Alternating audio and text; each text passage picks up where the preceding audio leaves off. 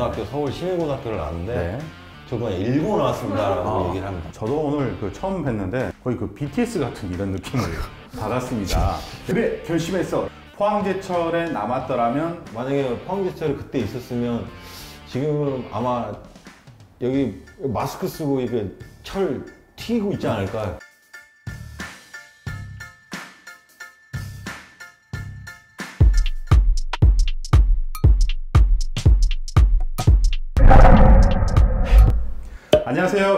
유곤영입니다. 타이거즈 팬의 토크쇼 전설의 타이거즈.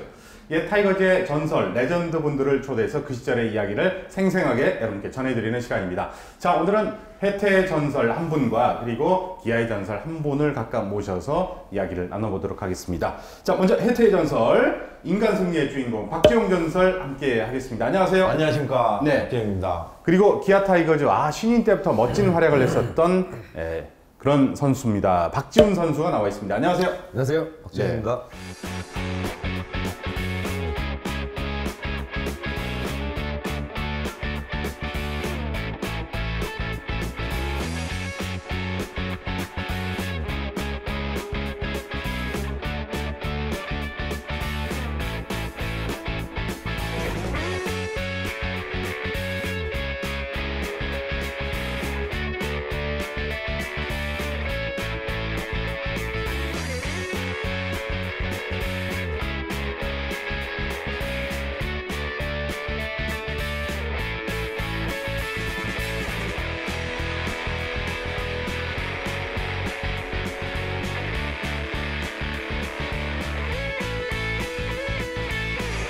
자, 이 두 분이 웬 조합이냐 이렇게 생각하시는 분들이 많이 계실 것 같은데 두 분의 관계가 어떻게 되시죠? 아 선수 코치 관계를 떠나서 학교 동문이기도 하고요. 네, 어느 학교죠? 강북대학교 동문이기도 하고요. 네, 그래서 학교 때서부터 아 잘 알던 선수와 뭐 어떻게 선후배 관계 네. 이런 관계라고 보시면 될것 근데 보통 그 선후배 관계 하면은 막, 아, 군기가 바짝 들어있고, 특히 운동선수 하신 분들은 그렇잖아요. 그런데 이 두 분은, 아, 정말 그, 형제? 동생? 뭐 이런 서로 칭찬을 하시고, 어, 너무 편안한 관계여서 더욱더 보기가 좋았습니다. 자, 그래서 오늘 어, 더욱더 전설의 타이거즈가 기대가 됩니다.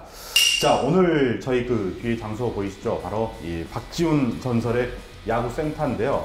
3층 건물입니다. 아, 시설이 너무 좋습니다. 그런 이야기 많이 들으시죠, 방문하면. 예, 오시는 들- 분들마다 이제 네. 시설 좋다고 그런 말씀 많이 해주시고요. 예, 이곳에서 정말 그 많은 야구를 꿈꾸는 꿈나무들 그리고 또 야구를 사랑하는 순수한 아마추어 분들도 많이 오신다고 합니다. 예. 음, 프로 선수들도 비시즌 때 이곳에 와서 연습을 많이 하신다고요? 예.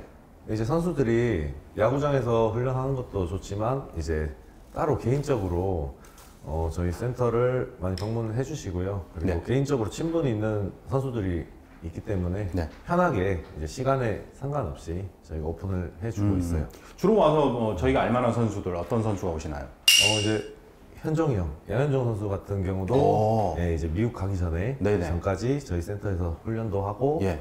아이들과 좋은 시간도 좀 보내주셨고요. 예, 그렇게 또 유명한 선수들도 오셔가지고 어, 연습을 할 만큼 시설이 정말 잘 돼 있습니다. 자, 박지웅 전설은 오늘 그 서울에서 출발을 하셨죠? 네네. 예, 어, 오는데 힘들지 않으셨어요? 아 오래간만에 그러니까 얼마 전까지 뭐 기아 코치로 있을 그러셨죠? 때보다 네.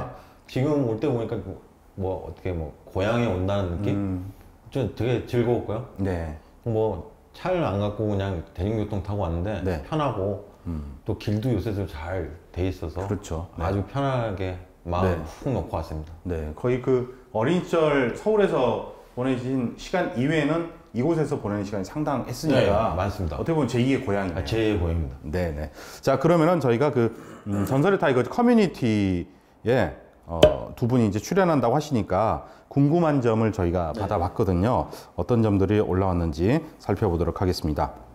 선동열의 황태자 박지훈 기억합니다라고 하셨는데 이게 어떻게 나온 이야기죠? 어, 제가 신인 때 선동열 감독님께서 처음으로 오셨어요. 예. 그래서 이제 운이 좋게도 선동열 감독님께서 기회를 좀 많이 주셨어요. 음. 네, 그래서 저도 이제 같이 하다 보니까 좋은 성적도 났고 네. 그렇게 하다 보니까 선동열 감독님께서도 기사에 좀 그런 이야기를 많이 해주셨어요. 네네. 그래서 좀 그렇게 걸리지 않았나. 그때 묘하게 또 선동열 감독이 그 대졸 신인을 네. 고졸 신인보다 비교적 더 완성된 모습이기 때문에 선호를 했었거든요. 근데 또 대졸이셨잖아요. 네. 예, 여러 가지 이런 것들이 잘 맞아 떨어졌던 것 같습니다. 자 그리고 음, 박형근님께서는 90년대 중반 박재영 전설, 박재벌 선수 두 분이 형제인 줄 알았습니다. 혹시 지금도 연락하고 지내시나요? 하셨는데 아니 근데 어떠신가요? 연락은 좀 오래됐어요. 그분이 꽃집 하시지 네, 않았나요? 꽃, 그쵸? 한다고 제가 얘기했고 꽃집 하고 나서 연락을 좀 하다가 요, 요 근래 연락을 못한 거로 네네. 그러시군요. 박지용 선수는 중요한 상황에서 한 방을 잘 쳤는데 비결이 따로 있나요? 라고 하시면서 어, IJ송님께서 문의사항을 해주셨어요. 아 그 비결은 제가 그때 뭐저 선배님들한테 배운 거기 때문에 네. 이 상황이 주어졌을 때 음. 책임감 있게 어떻게 해야 된다는 그 선배님들 말씀을 듣고 아 그거를 제 몸으로 실천을 하다 보니까 그게 이제 제 몸에 배서 음. 찬스 때만 되면 아 이거는 내가 내가 이거 해결을 해야지 이렇게 넘겨주고 그러면 또 점수가 안 날 수가 있으니까 네. 그래서 좀 책임감이 많이 생긴 것 같아요 선배님들 때문에 제가 봤을 때는 그 흔히 말해서 이제 성부사 기질이라고 하잖아요. 배짱이 좀 있으시지 않았나. 네. 저 배짱은 상당히 많습니다. 제가 그렇죠. 선배, 선배님들이 제가 이뻐하시는 게할 때는 하고 예. 놀땐 놀고 네. 이걸 확실하게 구분하다 보니까 그게 또 시합할 때 또 남한테 지는 게 지는 걸 싫어해서 아. 타이거즈 근성 있으셨군요. 아 저 서울 사람인데 대부분 저 제가 신일고등학교를 나왔습니다. 네네. 고등학교 서울 신일고등학교를 나왔는데 네. 여기 제 팬분들이 다 광주일고 나오신 줄 알고 음, 음. 저한테 학교 물어보면 저는 그냥 신자를 빼고 네. 저 그냥 일고 나왔습니다라고 아. 얘기를 합니다. 아, 네. 그것도 재밌는 유머네요. 네. 근데 성함 비슷한 분들이 일고 나오셔가지고 잘하시는 분들이 많이 계세요. 뭐 박재홍 선수 있었고요. 네. 그런 분들이 그 광주일고 출신들이 많으니까 박재용도 광주일고였을 네, 것이다. 생각- 그렇게 생각하시는 분들이 그 좀. 새로운 일고 신일고 나오셨다고 아. 예, 이렇게 정리를 하면 될 것 같습니다. 강문화님, 와우 두 분 조합이 신기하네요. 지명타자 96년부터 97년 골든글러브 박재용 전설과 어, 2012년 필승조 박지훈 전설 어, 이렇게 초대해 주셔서 섭외를 칭찬합니다. 라고 하셨고요. 김민성님께서는 박지훈 선수 광주에서 아카데미 운영한다고 들었는데 어, 고등학교 선수나 대학교 선수들이 오면 웜업, 체력 회복 중에서 어떤 걸 많이 중요하게 알려주시나요? 그러니까 음, 이제 선수 출신들이죠. 네네. 예, 그분들이 오시면은 이 부분을 집중적으로 어떤 걸 강조하시나 문의를 해주셨습니다. 어, 뭐, 오밍업도 좋고, 다 이제 중요하긴 하지만, 네. 이제 아마추어 때와는 다르게 프로에 가면은 개인적으로 스스로 좀 자기만의 운동법을 개발을 하고, 네. 스스로 이제 몸 만드는 게 가장 중요해요. 네. 그래서 그렇게 자기만의 운동법을 좀 가질 수 있게 네. 그런 부분을 좀 집중적으로 가르쳐 주고 있어요. 예, 예. 혹시 그 박지훈 선수가 지금 보셨듯이 거의 그 아이돌 같은 외모인데 본인보다 더 잘생긴 선수가 오면 어, 뭐 돌려보낸다거나 그러진 않으시죠? 좀 조금 가끔 그럴 때 생각도 있는데, 어, 아니면 마스크를 잘 씌운다거나. 네. 이거는 제가 뭐 농담으로 한 이야기입니다. 모든 선수들 다 열려 있고 환영합니다. 많이 관심을 가져주시길 바라겠습니다. 박재영 전설 예전에 96년도인가 97년도인가 최고의 빅매치 잠실 LG전 9회초 역전 말루포 아직도 생생합니다. 어, 한방 있던 지명타자 박재영 선수 반갑습니다 하셨습니다. 야 이거는 거의 인생 경기 아니었습니까? 인생입니다. 네. 제, 제 인생에서 제일 멋진 순간이었고 음.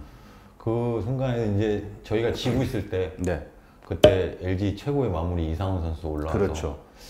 뭐 어떻게 관중분들이 다 이렇게 나가시는 와중에 이제 졌다고 포기하고 네, 졌다가 포기하고 나가시는 중에 제가 말로는 쳤는데 제가 또 이상훈 선수한테 좀 강해요. 음, 그래서 자신감 있게 들어갔고 또 말로는 쳤는데 뭐 비록 게임은 졌지만 네, 저는 물론 마음이 안 좋지만 다음날 기분이 좋은 게 모든 신문에 제 일면에 제가 다 나왔더라고요. 그래서 이겼으면은 해외에도 나오지 않았을까 이런 생각도 들고 네네. 저는 타이거스에 있으니까 그런 순간도 만들어졌을 거라고 생각합니다. 네네. 그만큼 임팩트가 있는 말로 홈런이었기 때문에 지금도 어, 야구를 사랑하시는 분, 또 타이거즈를 사랑하시는 모든 분들이 생생하게 예, 기억을 하고 있습니다. 자, 이제 음, 본격적으로 두 분에게 여러 가지 또 궁금한 점을 이야기해 보도록 하겠습니다. 타이거즈에서 선수와 코치로 지내셨죠? 네네. 몇 년도부터 지내셨나요? 말씀해 주시죠. 14년도부터 14년, 네. 네, 14년, 14년도부터 은퇴하기 제가- 전까지 제가 18년까지. 네. 네네네. 그러면 아, 지금 음. 이 방송에서 18년이에요. 아, 그러니까 연도입니다. 연도입니다, 연도. 네. 네, 욕이 아닙니다. 2014년부터 2018년까지 두 분이 이제 계셨는데 자, 이 코치로서 바라보는 박지훈 선수 또 박지훈 선수가 지도를 받았던 물론 이제 어, 파트가 파, 틀리니까. 파트가 틀렸지만 그런 뭐 코치로서의 어떤 부분 기억하는 부분 또 말씀해 주시죠. 저는 박지훈 선수가 기숙사에 뭐 들어와 있으면서 네. 자기 관리를 정말 이렇게 철저하게 하는 선수 처음 봤어요. 어, 얼굴 관리하셨나요? 아니면 아니, 선수로서 아니 관리하셨나요? 그 자기가 어떻게 하면 공을 잘 던지는 그 공부하는 모습과 노력하는 모습이 네네. 정말 좋았고 네. 그리고 또 같이 있는 후배들한테도 아 이렇게 운동해야 된다고 자- 잘 설명해주고 하는 선배로서의 모습을 보여준 게 네. 저는 참 보기 좋았고 네. 다음 아쉬웠다는 게 그렇게 인성 좋고 노력 많이 하고 공부 많이 하는 친구가 부상 때문에 네. 제대로 이렇게 활기를 못 쳤다는 게 저는 참 그게 좀 아쉽다는 생각이 듭니다. 네네. 저도 오늘 그 처음 뵀는데 정말 인사성도 좋으시고, 네 그리고 또 어, 다시 한번 농담적으로 이야기하지만 거의 그 BTS 같은 이런 느낌을 받았습니다. 네, 이런 스타성이 부상이 막혀서 오랫동안 선수로 생활을 못한 게 안타까운데, 자 이제 박지훈 전설이 기억하는 우리 박지영 코치님으로서의 그 당시 모습. 어 이제 그때 당시에 선수들과 숙, 숙소 생활 같이 하시면서 네. 되게 숙소 생활을 하게 되면 선수들이 많이 답답해해요. 음. 네, 그런 부분도 이제 코치님께서 선수 개개인마다 방으로 불러가지고 아. 상담도 다 개인적으로 다 해주시고 네네. 정말 그 선수들에게는 아버지나 네. 친형같이 어. 예, 그렇게 정말 따뜻하게 해주셨던 코치님이에요. 유머감은 또 있으시니까 엄청 뭐 선수들이 이제 그 뭐 질문할 때나 물어보고 싶은 것도 더 쉽게 했을 것 같아요. 네, 진짜 친구처럼 네. 정말 편하게 해주셨던 것 같아요. 네네. 고맙다. 혹시 좋은 뭐. 어, 방으로 불러가지고 상담한다면서 뭐 네. 야, 담배 좀 사와라 맥주 두 병만 사와라 이- 이런 심부름 없었나요? 어, 아니 말을 해야지 왜 말을 안 어떻게 같아요. 돼? 없었어요, 없었어요. 음 그리고 2009년도에 이제 기아 타이거즈 선수들이 출발 드림팀이라는 프로그램에 출연했을 때 그 당시에 타이거즈 선수로 출연한 게 아니라 이 박지훈 전설이 단국대 선수로 네. 출연하셨어요. 그때 기억나세요? 네, 캡처 된 것도 있더라고요, 사진에. 어. 네. 그것을 이제 캡처해가지고 이곳에 걸어놔도 좀 많은 추억이 됐을 것 같은데. 아, 이쪽이요. 네. 얼굴이 많이 많이 변해가지고 알아보실까요? 아, 그러시군요. 예, 예. 뭐, 혹시 촬영하면서 에피소드 같은 건 없으셨나요? 어, 그때 당시에는 너무 신기했죠. 음. 네, 내가 그 팀에 갈 거라는 걸 예상 또 못 하시는 상황 아니에요? 전혀 못했었죠. 예, 예. 네, 전혀 못했었고 그저 이제 대 선배님들을 볼 수 있으니까 그것만으로도 너무 좋았죠. 음. 네. 그때 당시에는 제가 저 선수들 사이에 껴서 같이 야구를 할 수 있을 거라는 생각도 못했고 네. 그럼 여기서 이제 두 분에게 깜짝 질문을 드리겠습니다. 어, 박지훈 전설, 세태 레전드 선배님들 중에서 가장 존경하는 선배님. 이제 뭐 선동열 감독 어. 빼놓을 수가 없을 것 같고. 네, 지금 바로 옆에 네. 박재용 코치님도 계시지만 정말 이게 아 계시지만 예. 네, 그래도 아무래도 제가 신인 때부터 어, 선동열 감독님이 안 계셨다면 네. 제가 이 자리까지도 올 수 없었을 음. 것 같고 아마 야구장에서 그렇게까지 야구를 못했을 수, 쓸 수도 있어요. 네. 그래서 너무 감독님을 존경하고요. 많이 가르쳐 주신 것도 있지만 기회도 또 신인인데도 네. 타격적으로 많이 주셨으니까. 그리고 저 혼자 느꼈을지 모르지만 네. 어, 또 따로 많이 좀 이뻐해 주신 것 같기도 하고요. 예, 예. 그러시군요. 제가 항상 시합을 하면은 시합 전에 이제 원정 경기를 가거나 하면은 사우나를 갔어요. 그러면 항상 이강 이강철 코치님 그리고 선동일 감독님 그리고 이순철 수석 코치님 이렇게 코치님들이 다쭉 계셨거든요. 그래서 항상 제가 일부러 가기도 했어요. 음. 네, 한마디라도 더 듣고 네. 얼굴이라도 한 번 더 비추려고 갔었는데 이제 갈 때마다 또 좋은 이야기를 많이 해주시더라고요. 예. 혹시 뭐 어, 아부하려고 감독님 등 어. 제가 밀어드리겠습니다. 일부러 가셔가지고 어 그래도 다음 경기 선발 뭐 이런 건 아니셨겠죠? 네, 예, 그런 건 아닌데 그래도 이제 조금이나마 좋은 이야기 좀더 들어보려고 음. 네네네. 했던 것 같습니다. 그때 뭐 신인으로서는 뭐든지 배워야 될 시기니까 예, 그랬던 것 같은데 자 그리고 어, 박지용 전설은 뭐 해태 시절, 기아 시절 포함해서 가장 그 아, 정말 이 후배는 내가 후배지만 정말 예쁘고 배우고 싶고 정말 장점이 많다 이런 후배 있을까요? 뭐 아시겠지만 이종범 선수가 네, 야구를 제일 잘했고 네, 그러니까 어떻게 하면 잘할까? 저도 옆에서 막 이렇게 이렇게 음. 보고 제가 1년 차이지만 제가 1년 선배지만 어떻게 하면 저렇게 할까라도 막 나도 한번 따라해보고 싶은 근데 몸이 안 따라줘서 그렇지만 음. 네, 정말 따라해보고 싶은 선수. 근데 지금도 이렇게 보면 지금 기존에 있는 지금 현역 뛰는 선수들 보면 보다 그 이종범이라는 선수가 정말 대단했던 생각이 되게 많이 나요. 네, 근데 그 선수 이종범 선수 같은 선수가 다시 나올 수 있을까 음, 의구심도 많이 들고 네, 네, 근데 왜 그거를 연속적으로 이렇게 그런 선수들이 계속 안 나올까 이런 생각도 많이 들고 네, 네. 어, 배울 점은 저 후배지만 이종범 선수한테 제일 많이 느낀 것 같아요. 네네. 자, 지금부터는 선수 시절 이야기를 해보도록 네. 하겠습니다. 음, 박지용 전설은 단국대 시절에 그 팀의 4번 타자 그리고 또 국가대표로도 네네. 지내셨죠. 네. 어, 그때 이야기를 좀 해주시겠어요?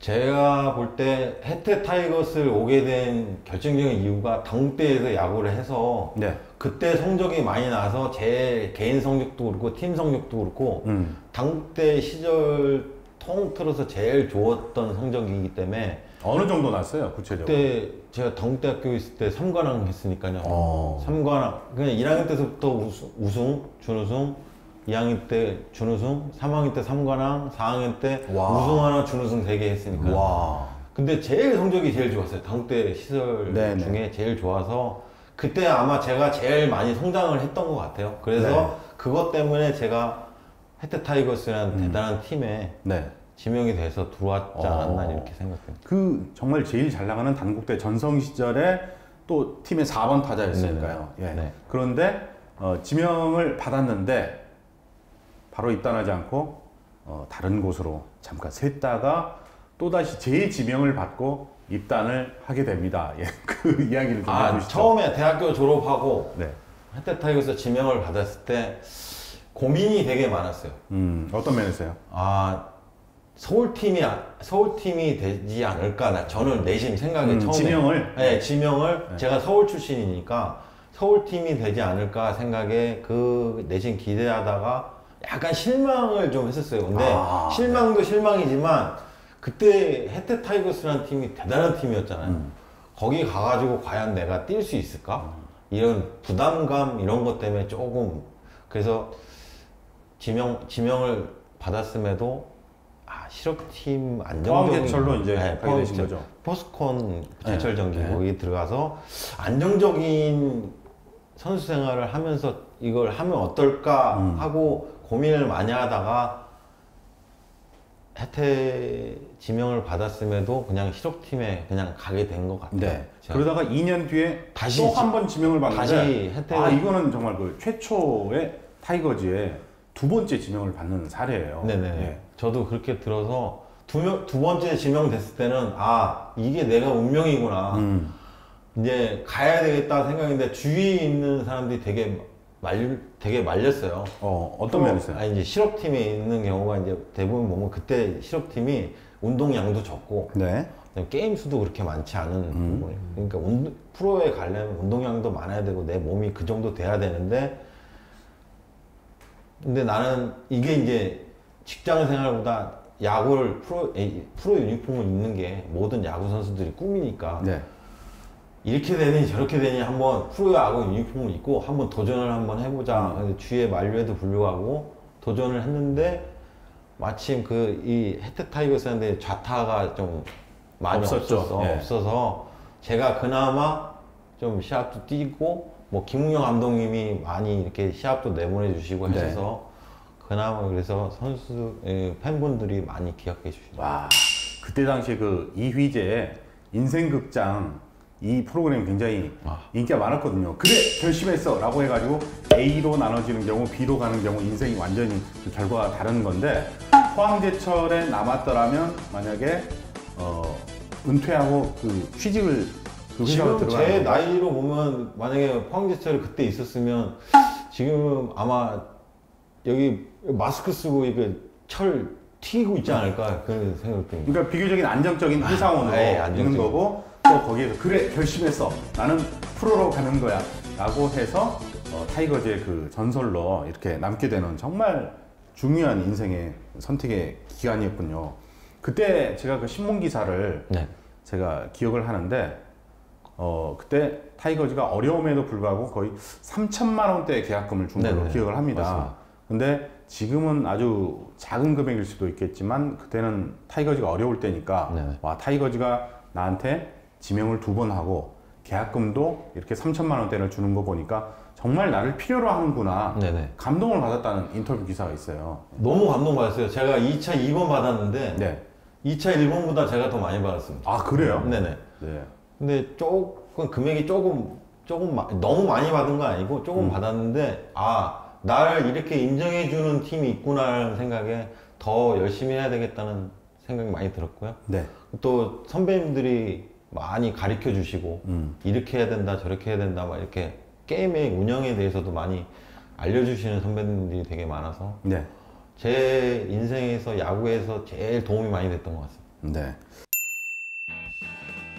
지명 타자 부문 골든글러브를 2년 연속 타셨어요. 네네네. 예.